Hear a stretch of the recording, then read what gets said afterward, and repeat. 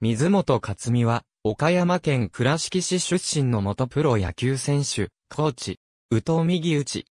倉敷工業校では強打の保守として鳴らし、3年時の1986年に夏の甲子園出場。1日目第3試合の1回戦、対秋田工業高戦において1から11で敗れて、初戦敗退。高校卒業後は、社会人野球の名門、松下電機に進み、塩崎哲也ともバッテリーを組む。チームは3年連続で、都市対抗野球大会に出場した。1989年秋に、倉敷工業校の先輩である、片岡慎之介を頼って、広島東洋カープの入団テストを受験し、合格、同年オフに、ドラフト外で入団した。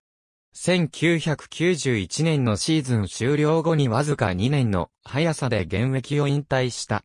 引退後は、広島のブルペンボ手として、長年チームを陰で支えた。2007年シーズン途中、ブルペンコーチ補佐に就任。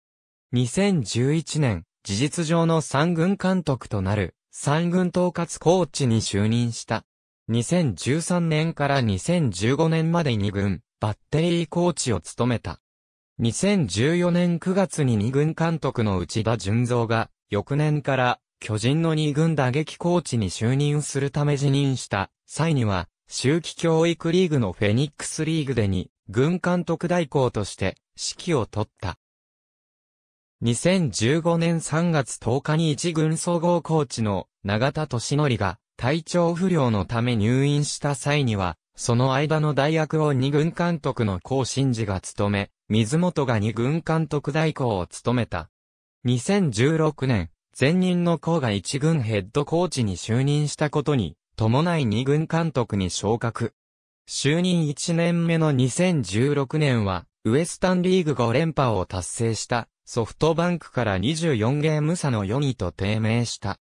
2017年には、中日、ソフトバンクとの熾烈な優勝争いを制して1991年以来26年ぶりのウエスタンリーグ制覇に導き、10月7日に霧島、サンマリンスタジアム宮崎で行われた、ファーム、日本選手権では2の5で巨人を破り、巨人、内田二軍監督との指定対決を制して、初のファームチャンピオンへと導いた。その後は2020年まで二軍監督を務め、2020年、限りで退団した。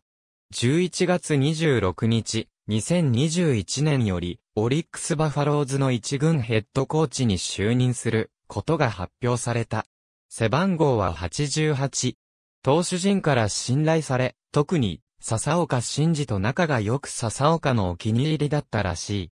市民球場での試合前に、立ち上がりの悪い投手や雰囲気に飲まれるタイプの投手には、スタンド下のブルペンからグランドへ移動して、緊張をほぐすなど気を使っている。打撃不振の金本智明や荒井隆弘の喪失特打ちには、いつもアドバイスを送り、投手陣だけでなく、野手陣からの信頼も厚い。チーム関係者からは曲がったことの嫌いな人間で、若手にもベテランにも平等に接することができる人物と評した。ありがとうございます。